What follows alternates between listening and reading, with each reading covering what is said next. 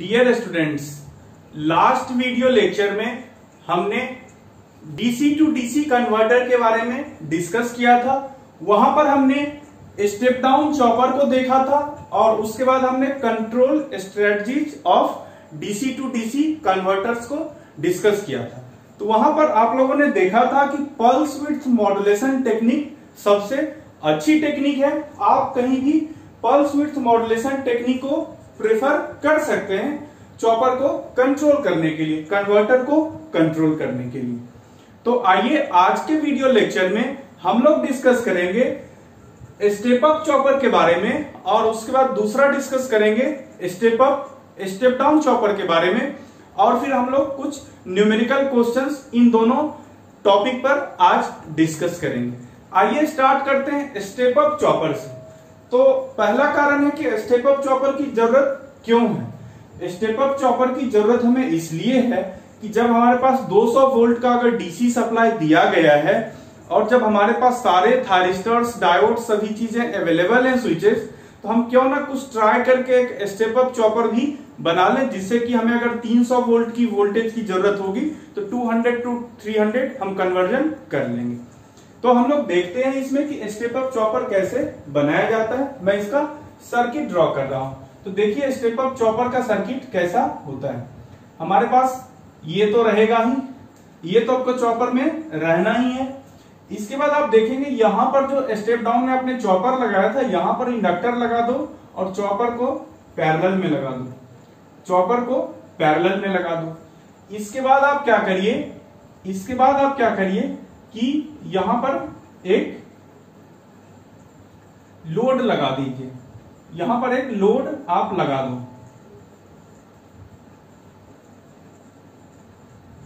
यहाँ पर एक लोड आपने लगा दिया।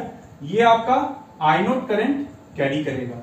ये लोड हमारा आईनोट करंट कैरी करेगा और इसके साथ साथ हम लोग क्या करेंगे? एक यहाँ पर डायोड भी लगाएँगे। यहाँ पर एक डायोड भी लगाएँगे। ये डायोड का फ़ंक्शन क्या है? इसको हम लोग बाद में देख लेंगे। यही हमारा चॉपर है। दिस इज़ योर चॉपर ये इंडक्टर है, ये इंडक्टर है। इसके अक्रॉस कुछ वोल्टेज होगा वीएल अब हम लोग देखते हैं कि ये ऑपरेट कैसे करता है। पहली बात तो ये इंडक्टर जब आपने लिया है इंडक्टर की कुछ ठीक ठाक वैल्यू लेनी पड़ेगी। क्लियर अब देखिए होता क्या है। हम लोग देखते हैं मोड वन सबसे पहला मोड यानी पहला मोड क्या करते हैं कि चॉपर को आपने ऑन कर दिया, यानी स्विच को आपने ऑन कर दिया। जब आप यहाँ पर स्विच को ऑन कर रहे हो, आपको कैसा सर्किट मिलेगा? You will get the circuit like this you will have the circuit like this load से कोई कनेक्शन इसका नहीं रहेगा। ये रहा हमारा एल ये रहेगा वीएस ये वीएस क्या करेगा? ये वीएस क्या करेगा? यहाँ पर एक पोटेंशियल ड्रॉप क्रिएट होगा। और ये इंडक्टर को चार्ज करना स्टार्ट करेगा। इंडक्टर को चार्ज करना स्टार्ट करेगा और यहाँ से करंट फ्लो करेगा आई एल करंट एक आई एल फ्लो करेगा। इस समय आउटपुट वोल्टेज क्या होगा?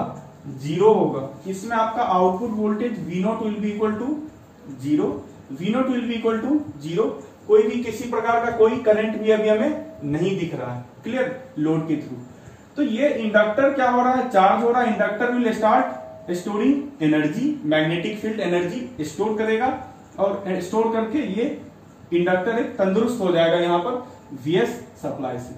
अब दूसरा मोड क्या कहता है? Mode to. मोड टू बतला रहा है। मोड टू बतला रहा है कि अब दूसरे मोड में चॉपर को ऑफ़ कर दीजिए आप। तो जैसे ही आप चॉपर को ऑफ़ करेंगे, जैसे ही आप चॉपर को ऑफ़ करेंगे, फिर आपका सर्किट क्या होगा? अब ये सप्लाई क्या करेगा? This supply it will be now connected across the load it will be now connected across the load ये रहेगा plus minus V naught plus minus V naught और यहाँ पर एक डायोड तो आपका रहेगा। ये डायोड हमारा रहेगा। अब देखिए इंडक्टर की खास बातें अब समझिए। यहाँ पर इंडक्टर एनर्जी स्टोर कर रहा था। आप इंडक्टर के बारे में जानते हैं आपको, मैंने नेटवर्क थ्योरी में बतलाया था कि इंडक्टर क्या करता है कि जब एनर्जी को रिलीज़ करने लगता है तो वोल्टेज का डायरेक्शन इसका चेंज हो जाता है। जब एनर्जी स्टोर कर रहा था वोल्टेज ये था प्लस माइनस जब इंडक्टर एनर्जी रिलीज़ करेगा तो इसका वोल्टेज का डायरेक्शन रिवर्स हो जाएगा और करंट का डायरेक्शन सेम होगा। यानी अब क्या किया कि ये सोर्स और इंडक्टर दोनों ने दोस्ती कर ली। इन दोनों ने दोस्ती कर ली और ये दोनों मिलकर अब एनर्जी किसको देंगे? लोड को देंगे। ये हमारा लोड और इसको एनर्जी ये लोग दोनों मिलकर देना स्टार्ट किए। जब ये दोनों मिलकर एनर्जी देंगे तो भाई क्या होगा? वीएस और ये वीएल है। तो वीएस प्लस वीएल एपियर होगा वी नॉट के क्रॉस वी नॉट के क्रॉस क्या होगा? वीएस प्लस वीएल यानी कि ज़्यादा वोल्टेज हमें एपियर होने लगा आउटपुट वोल्टेज के साथ। आपने देखा था स्टेप डाउन चॉपर में मैक्सिमम वीएस वोल्टेज आप करा रहे थे। यहाँ पर क्या होगा? यहाँ पर आपका VL voltage VS plus VL voltage जाएगा। तो वीएस प्लस वीएल वोल्टेज जाने का मतलब क्या है? अब मैं एक डायग्राम बना रहा हूँ। अब मैं एक डायग्राम बना रहा हूँ, क्योंकि इस डायग्राम से ही आपको सब कुछ क्लियर हो पाएगा। मैं इस डायग्राम में देखिए करंट के बारे में बना रहा हूँ इंडक्टर करंट के बारे में। ये इंडक्टर करंट क्या कर रहा है? आईएल आईएल करंट जब आपने चॉपर को टर्न ऑन किया था ड्यूरिंग टी ऑन पीरियड तो टी ऑन पीरियड क्या होगा? करंट एक मिनिमम वैल्यू से मैक्सिमम वैल्यू बढ़ेगा। और एज्यूम कर लीजिए कि ये करंट लीनियरली बढ़ रहा है। यहाँ पर आने के बाद ये इंडक्टर क्या करेगा? अब आपने चॉपर को ऑफ़ कर दिया। जब आप इस चॉपर को ऑफ़ करोगे तो यहाँ पर क्या होगा कि करंट अब डिक्रीज करेगा। दिस करंट विल डिक्रीज तो ये करंट डिक्रीज करेगा एनर्जी रिलीज़ किया जाएगा करंट डिक्रीज होगा। ये करंट आपको कुछ इस तरह से मिलेगा। ये करंट हमें कुछ इस तरह से मिलेगा। क्लियर फिर आपका करंट यहाँ बढ़ेगा, यहाँ करंट घटेगा। क्लियर यानी इस करंट को अगर I1 कर दें, इसको अगर I2 कर दें तो ये करंट का ग्राफ रहा। ये हमारा टी ऑन पीरियड है और ये हमारा टी ऑफ़ पीरियड है। अब कहोगे, सर वोल्टेज का भी वेव फॉर्म हमें देखना है। भाई वोल्टेज का भी वेव फॉर्म देख ले। आपने क्या देखा था? टी ऑन पीरियड में वोल्टेज ज़ीरो है और टी ऑफ़ पीरियड में आपको वोल्टेज मिल रहा। You are getting the voltage in T off period और ये वोल्टेज कितना मिल रहा? है ये वोल्टेज हमें मिल रहा है VS plus VL VS plus VL ये वोल्टेज हमें मिल रहा। है ये वोल्टेज हमें मिल रहा। है अब आप कहोगे, सर, ये वीएल तो वेरी करेगा टाइम के साथ? तो फिर आपने ये कैसे किया कि ये कांस्टेंट से कैसे आपने रिप्रेजेंट किया? ये बहुत ही इंपॉर्टेंट क्वेश्चन है कि यहाँ पर मैं कांस्टेंट दिखला रहा हूँ। एक वैल्यू कांस्टेंट रहेगा, लेकिन वीएल आप कहोगे चेंज करेगा। तो वीएल क्या होता है? L into D I by D T तो यहाँ पर भाई डी आई अगर कैलकुलेट करोगे तो आप क्या देख रहे हो? डी आई आपका कॉन्स्टेंट हो जाएगा, क्योंकि यहाँ पर करंट आई लीनियर है तो डी आई कॉन्स्टेंट हो जाएगा। तो इसलिए वीएस प्लस वीएल मैं यहाँ पर लिख रहा हूँ, ये लीनियर है। ये रहा हमारा टी ऑफ़ पीरियड और ये टोटल टाइम क्या हो गया? ये टोटल टाइम हमारा टी हो गया। यहीं पर एक बात और आप नोट कर लीजिए। आप देखोगे न्यूमेरिकल क्वेश्चंस में आपको पूछा जाएगा कि स्टेप अप चॉपर का पल्स विड्थ कैलकुलेट कीजिए। Find the pulse width of step up chopper तो पल्स विड्थ किसको कहेंगे स्टेप अप चॉपर का? ये देखिए, यहाँ से यहाँ पल्स मिला ही नहीं। तो पल्स कहाँ से कहाँ मिल रहा है? टी ऑफ़ पीरियड में। तो ये पल्स विड्थ इसका कौन सा होगा? टी ऑफ़ पीरियड वाला इसका पल्स विड्थ होगा। तो आपको टी ऑफ़ कोई कहेगा पल्स विड्थ कैलकुलेट कर दो। आप कहोगे, ठीक है, तुम टी ऑन टी ऑफ़ की वैल्यू में बतला दे रहा हूँ। टी ऑफ़ की वैल्यू बतलाकर उसे आप भेज देना। क्लियर तो अब हम लोग देखते हैं कि हमें डिराइव करना है आउटपुट वोल्टेज का एक्सप्रेशन तो आउटपुट वोल्टेज का एक्सप्रेशन कैसे डिराइव करेंगे? मोड वन में क्या हो रहा है? इंडक्टर एनर्जी स्टोर कर रहा। तो भाई इंडक्टर कोई इंडक्टर है, कितना एनर्जी स्टोर करेगा? मोड वन में अगर हम देखें इंडक्टर क्या कर रहा था? एनर्जी स्टोर कर रहा था। भाई, कितना एनर्जी स्टोर करेगा इंडक्टर तो एनर्जी क्या होता है? Voltage current into time voltage क्या है? वोल्टेज क्या है अभी इस इंडक्टर के क्रॉस इस इंडक्टर के क्रॉस वोल्टेज क्या है? Vs के बराबर है। Minus VL plus S equal to zero तो वीएल इक्वल टू वीएस तो यहाँ पर भाई वोल्टेज इसका क्या है? Vs. करंट क्या है? एवरेज करंट अगर ले लें तो I one plus I two by two I one plus I two by two यही एवरेज वैल्यू होगा करंट का। I one plus I two divided by two into time time क्या है? टी ऑन ये इक्वेशन वन हो गया। अब हम लोग मोड टू में चलते हैं। मोड टू में फिर हमें डब्ल्यू आउट यानी जो मोड टू में इंडक्टर क्या कर रहा है एनर्जी रिलीज़ कर रहा। है वह एनर्जी रिलीज़ कर रहा है तो हमने जैसे एनर्जी इनपुट एनर्जी इन हमने कैलकुलेट किया, वैसे हम लोग क्या करेंगे? एनर्जी आउट को भी कैलकुलेट कर लेंगे। तो एनर्जी आउट को कैलकुलेट करने के लिए हमें क्या करना पड़ेगा? यहाँ पर वीएल का एक्सप्रेशन लिखेंगे। ये वीएल देखिए यहाँ पर क्या होगा?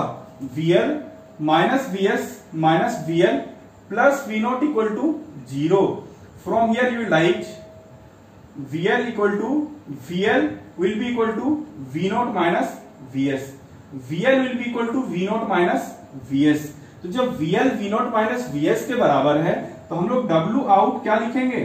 W out it will be equal to inductor voltage naught minus V S यहाँ पर देखो, इंडक्टर का करंट क्या हो रहा है? I2 से I1 तक आ रहा है फिर। तो I1 plus I two by two कर दो।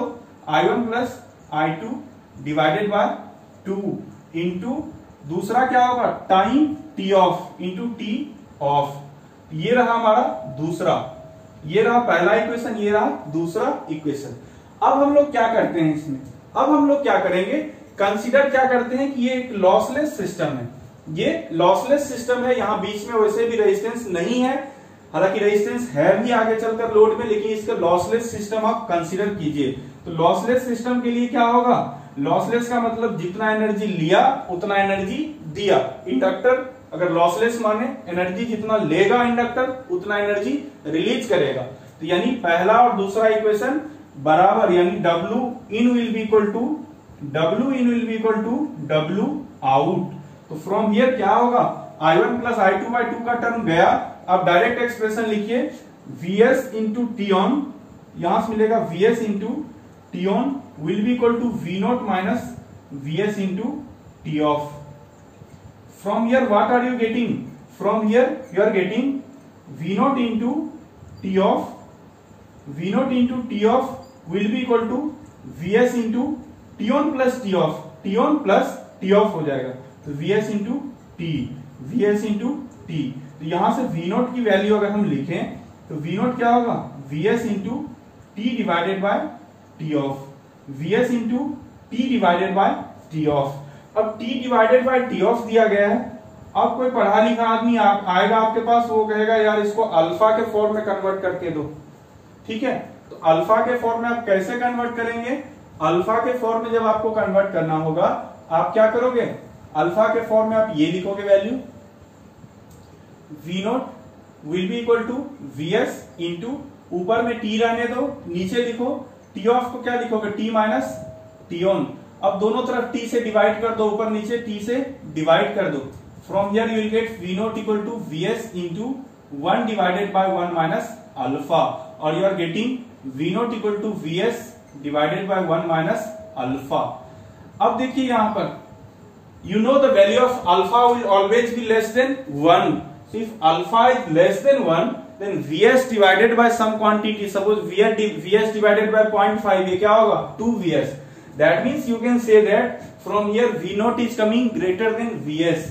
यानी आपको क्या मिलेगा V naught is greater than Vs. तो V naught यानी कि आपने जो Vs 200 वोल्ट आउटपुट लगाया था और V naught कितना मिल रहा है आपको V naught आपको उससे अधिक मिल रहा है अधिक मिलने का मतलब है कि ये स्टेप अप चॉपर हुआ। यानी ये चॉपर क्या हुआ? स्टेप अप चॉपर हुआ। क्लियर तो जब ये स्टेप अप चॉपर हुआ, अब हमें समझना है कि सर यहाँ पर डायोड क्यों लगाया गया था? अब देखो, इस डायोड का कंसेप्ट समझो।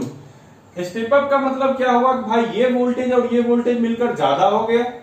यानी कि हमारे पास ये मान लो वीएस था, ठीक है? ये वीएस था। अब हमारे पास ये वोल्टेज मान लो 200 है, ये वोल्टेज हो गया हमारा 400 ये जब 400 होगा तो ये कहेगा, हम आपको करंट देंगे। इसलिए एक डायोड लगा हुआ कि करंट का रिवर्स फ्लो ना हो जाए। That's why this diode is connected to stop the reverse flow of current clear तो ये रहा हमारा स्टेप अप चॉपर का। तो जब ये स्टेप अप चॉपर आपने बना लिया स्टेप अप चॉपर बनाने में आपने मेहनत की, पैसा आपने खर्च किया स्टेप अप चॉपर का बनाकर तो फिर आप कहोगे इसका एप्लीकेशन कहा है? क्यों? कहीं तो इस्तेमाल करना है आपको स्टेप अप चॉपर को। तो इसका एप्लीकेशन अगर हम देखें, इसका सबसे बेस्ट एप्लीकेशन एक तो आप समझ सकते हैं कि एप्लीकेशन कहाँ होगा। आपके पास 200 वोल्ट है 300 वोल्ट का चाहिए आपको सप्लाई आप क्या करोगे? स्टेप अप चॉपर लगाओगे। स्टेप अप चॉपर यूज़ करोगे, बनाओगे। लेकिन दूसरा एक और इसका एप्लीकेशन है, जो कि आपको ऑब्जेक्टिव्स में भी पूछे जाते हैं। एप्लीकेशन में हम दे रहे हैं एप्लीकेशन एक बहुत इंपॉर्टेंट एप्लीकेशन है रीजेनरेटिव ब्रेकिंग रीजेनरेटिव ब्रेकिंग भाई, आप लोग इलेक्ट्रिकल इंजीनियर हो री ब्रेकिंग जनरेटिंग के बारे में हमें कुछ बतलाना है रीजनरेटिव ब्रेकिंग तो थोड़ा बहुत बतला देते हैं रीजेनरेटिव ब्रेकिंग क्या होता है? ये हमारे पास मोटर है, ये हमारे पास मोटर है मोटर के क्रॉस क्या होगा? बैक ईएमएफ ईबी होगा बैक ईएमएफ ईबी होगा। अब क्या किया जा रहा है? ये देखिए यहाँ पर, एक आपने चॉपर लगा दिया। ये यहाँ पर चॉपर लगा हुआ है, और ये क्या है? डायोड है, और यहाँ पर ये सोर्स है। अब हम लोग क्या करते हैं? यहाँ पर हम डायोड नहीं लगाते हैं। मान लो ये सोर्स इसको फ़ीड कर रहा था, ये सोर्स है हमारा, ये हमारा सोर्स है, ये हमारा सोर्स है वीएस यही हमारा सोर्स वोल्टेज वीएस है। अब क्या होता है कि जब ये चॉपर हमारा ऑन था जब ये चॉपर हमारा ऑन था तो करंट इससे होकर ऐसे फ्लो करेगा। जब आपने मोटर को सप्लाई देना बंद कर दिया मोटर को आप ब्रेक कर रहे हैं। मोटर को आप ब्रेक कर रहे हैं। ब्रेक करने का मतलब क्या हुआ? कि मोटर को आप बंद कर रहे हो, उसमें आप क्या करोगे?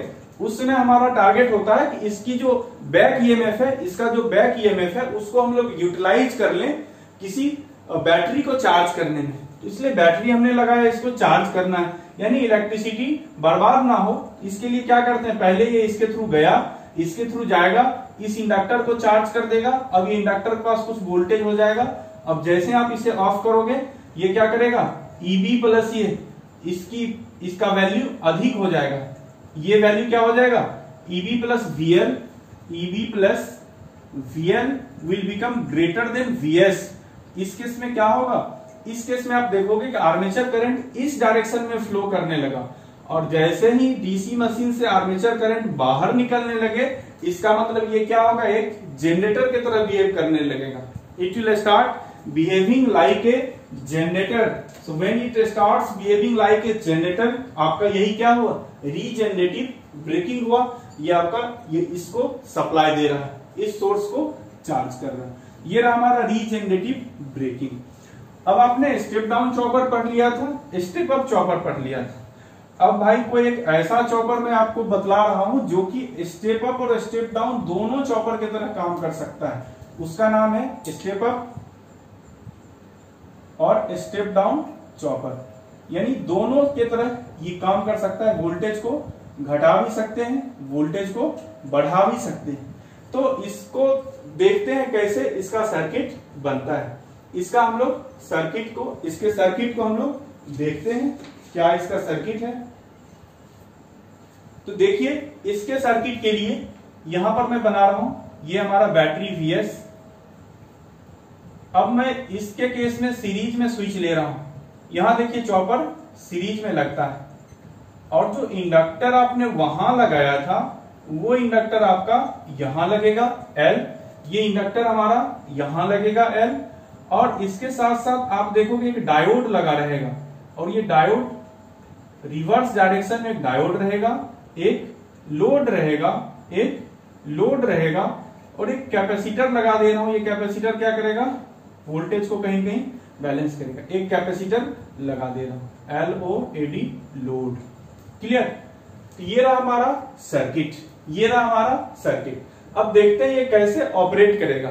हाउ इट विल ऑपरेट तो पहला चीज़ देखते हैं, पहला चीज़ देखते हैं, पहला हम लोग देखते हैं कि यहाँ पर, और ये वी नोट का डायरेक्शन यहाँ पर अपोजिट होता है, ये हमारा वी नोट रहा क्लियर तो हम लोग पहला मोड देखते हैं मोड वन मोड वन में हम लोग देखते हैं कि चॉपर हमारा ऑन है। चॉपर हमारा ऑन है, जिसका मतलब टी ऑन पीरियड में आप देख रहे हो। तो टी ऑन पीरियड में सर्किट क्या होगा? टी ऑन पीरियड में सर्किट हमारा ये सर्किट एक बनेगा, एक सर्किट हमारा इस तरह का बनेगा टी ऑन पीरियड में। क्लियर ये रहा हमारा वीएस ये रहा हमारा वीएस ये रहा चॉपर क्लियर ये रहा हमारा चॉपर ये रहा वीएन इंडक्टर तो अब क्या होगा यहाँ पे? अब क्या होगा यहाँ पर?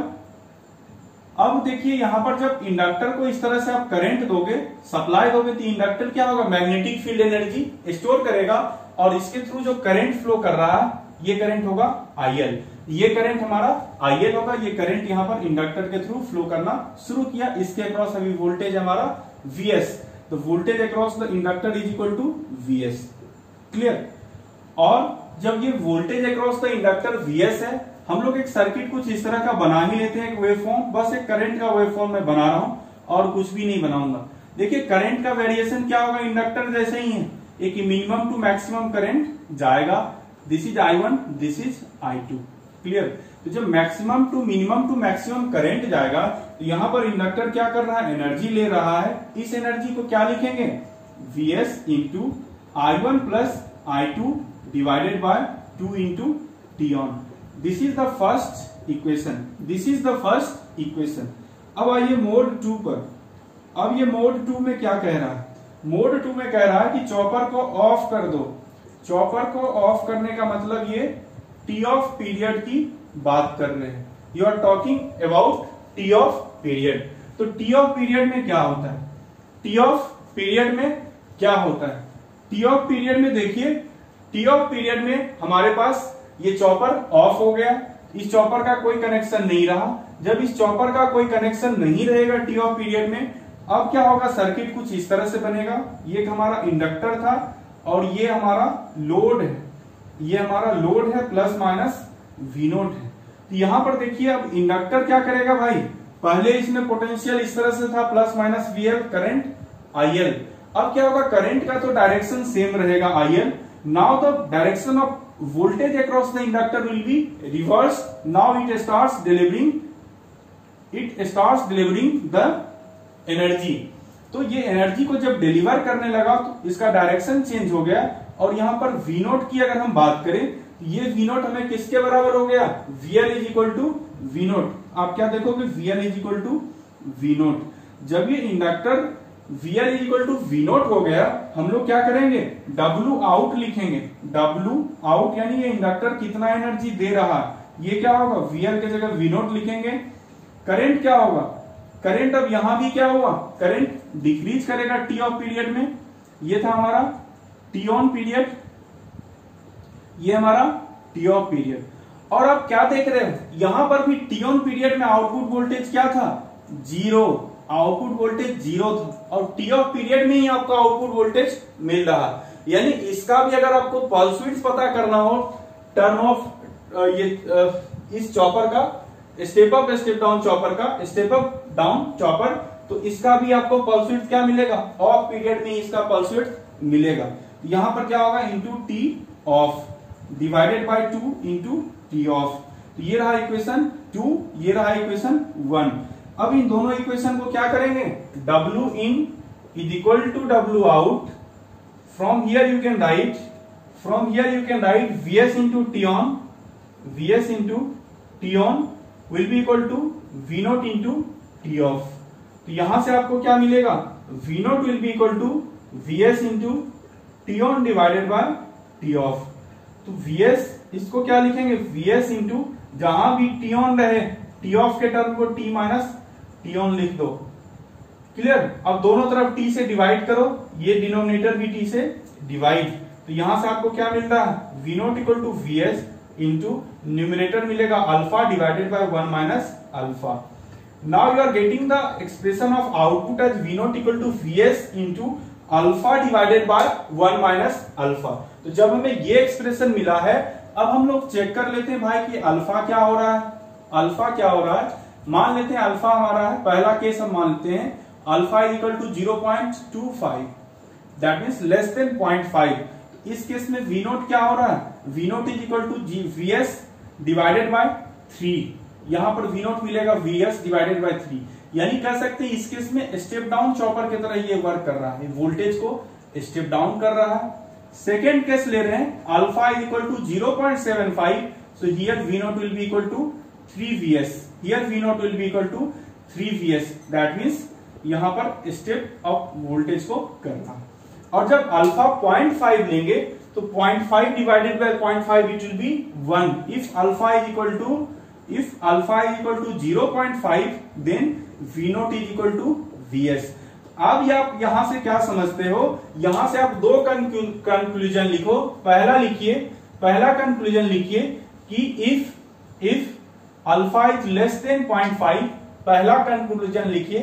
Alpha less than zero point five, ये स्टिप डाउन चॉपर की तरह काम कर रहा है। अल्फ़ा कम, वोल्टेज कम, अल्फ़ा ज़्यादा, वोल्टेज ज़्यादा। क्लियर? यहाँ से ऐसे याद रखना भाई। कभी अगर इसमें भूल जाओ, अल्फ़ा कम, वोल्टेज कम, अल्फ़ा ज़्यादा, वोल्टेज ज़्यादा। क्लियर?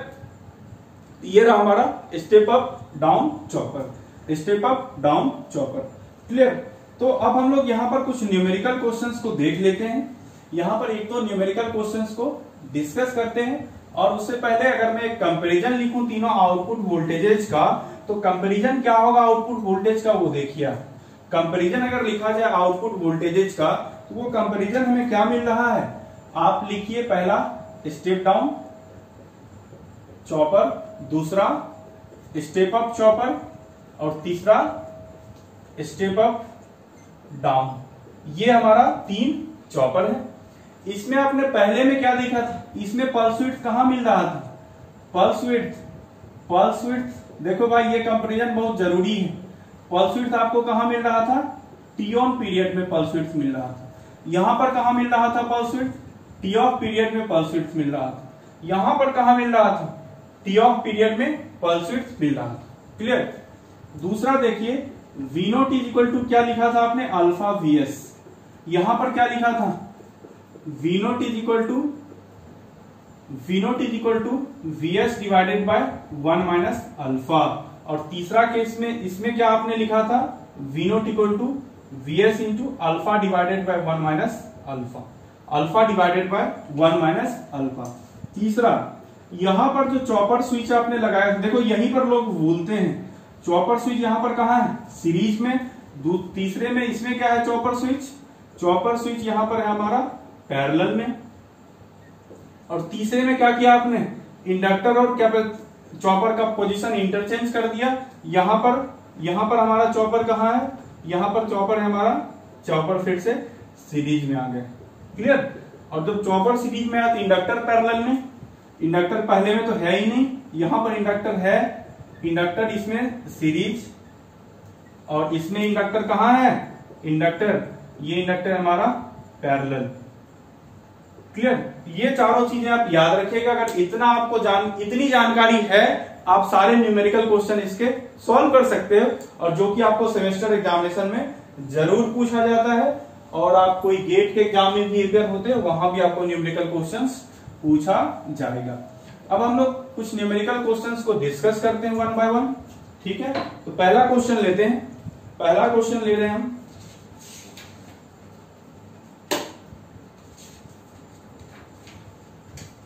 पहला क्वेश्चन दिया हुआ है। पहला क्वेश्चन स्टेप अप चॉपर दिया गया है। स्टेप अप चॉपर ये पीएस पिमरा सर के किताब में दिया गया न्यूमेरिकल क्वेश्चन है, उसी को मैं सॉल्व कर रहा हूँ। स्टेप अप चॉपर है, इसमें इनपुट वोल्टेज ऑफ़ 220 वोल्ट दिया गया है। यानी VS equal to two volt दिया गया है, दूसरा दिया गया है आउटपुट वोल्टेज दिया गया है 660 वोल्ट दूसरा दिया गया है if the conducting time of thyristor chopper is 100 microsecond T on दिया गया है conducting time of thyristor chopper यानी टीओन दिया गया है hundred microsecond compute the pulse of output voltage you have to compute pulse width of output voltage तो भाई step up chopper है। स्टेप अप चॉपर में पल्स विड्थ कहाँ होता है? जब चॉपर ऑफ़ होता है तब। चॉपर ऑफ़ होता है तब पल्स विड्थ आता है। आपको टी ऑफ़ कैलकुलेट करना है। ये बहुत आसानी से कैलकुलेट कर लोगे। इसी में दूसरा पार्ट दिया गया है इसी में कि if in case output pulse width is half दूसरा केस दिया गया है T off dash is equal to T off divided by two उस केस में आप क्या करोगे? और फ्रीक्वेंसी सेम है। एफ़ कांस्टेंट रख रहा है। चॉपिंग फ्रीक्वेंसी कांस्टेंट है। Find the average value of new output voltage V naught dash आपको निकालना है। तो भाई इस चीज़ को हम लोग पहले देखते हैं कैसे बनाया जाए। आप अगर सॉल्यूशन पर आइए, आप दो तीन लाइन में इसका आंसर लिख सकते हो। इसका देखो टी ऑफ़ पता करना है। यानी हम क्या करते हैं? V naught is equal to क्या होता है? V S divided by V S divided by one minus alpha तो from here one minus alpha will be equal to V S divided by V naught ये क्या हुआ? Two twenty divided by six sixty equal to one by three तो one by three इसका मतलब क्या हुआ? Alpha alpha is equal to two by three और alpha क्या होता है? Alpha equal to T on divided by T. आपको यहाँ पर क्या मालूम है? टी ऑन मालूम है, टी कैलकुलेट कर लेते हैं। तो टी क्या होगा? T on divided by alpha. T on क्या है? Hundred microsecond, hundred microsecond divided by alpha is two by three. तो यहाँ से क्या होगा? यहाँ से आपका आ जाएगा 150 माइक्रो सेकेंड। तो टी ऑन आ गया 150 माइक्रो सेकेंड तो भाई जब टी ऑन आ गया तो टी ऑफ़ क्या होगा?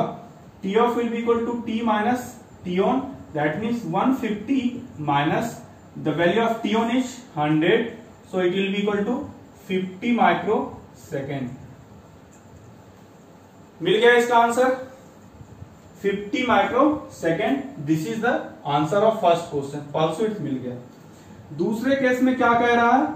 T off dash is equal to T off by two pulse been reduce to half तो ये क्या हो जाएगा? 50 by two that means 25 microsecond भाई जब ये 25 माइक्रो सेकेंड मिला है, ये 25 माइक्रो सेकेंड मिला है तो हमें क्या कैलकुलेट करना है?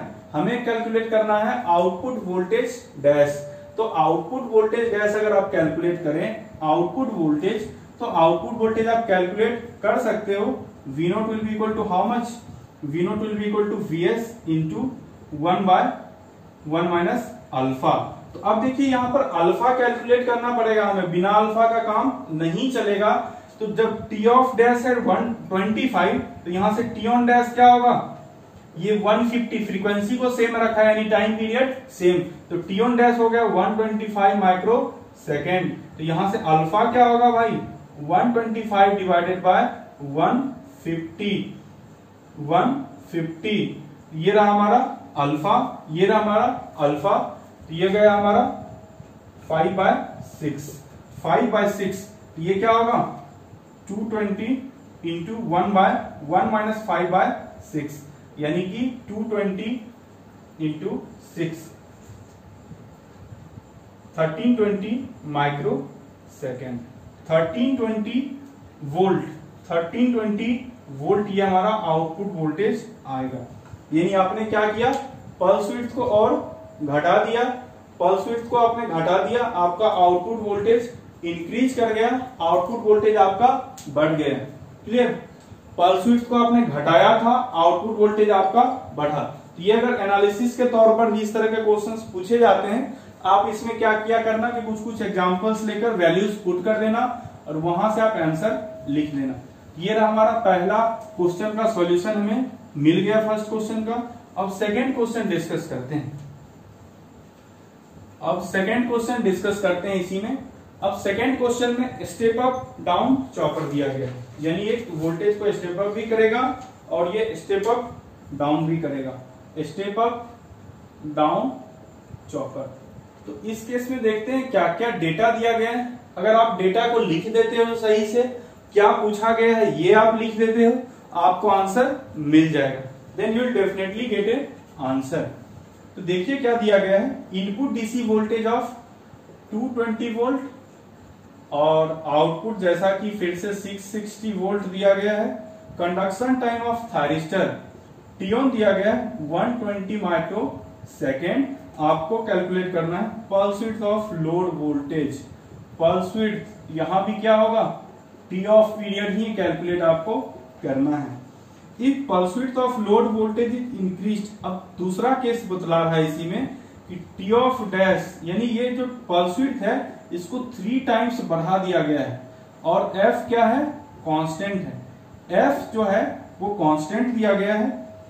फिर आपको कैलकुलेट करना है new value of output voltage new value of output voltage clear तो इसके सॉल्यूशन पर आते हैं हम लोग। इसको कैसे सॉल्व किया जाए? आप देखिए डायरेक्ट फॉर्मूला लिखिए। डायरेक्ट आप फॉर्मूला लिखिए यहाँ पर।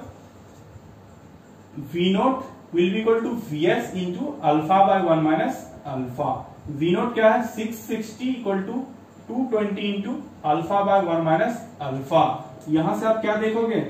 ये थ्री से मल्टीप्लाई कर जाएगा।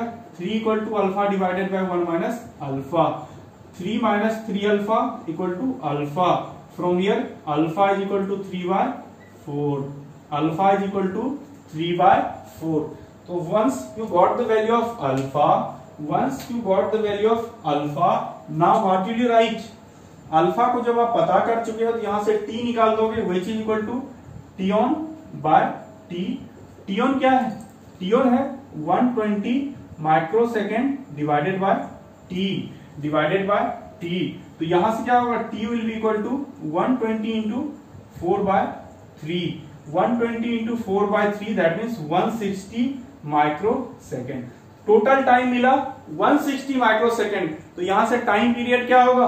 टी ऑफ़ टी ऑफ़ यानी pulse width pulse width will be equal to T minus T on that means 160 minus 120 it will be equal to 40 micro second clear ये रहा हमारा फ़र्स्ट क्वेश्चन का answer आ गया।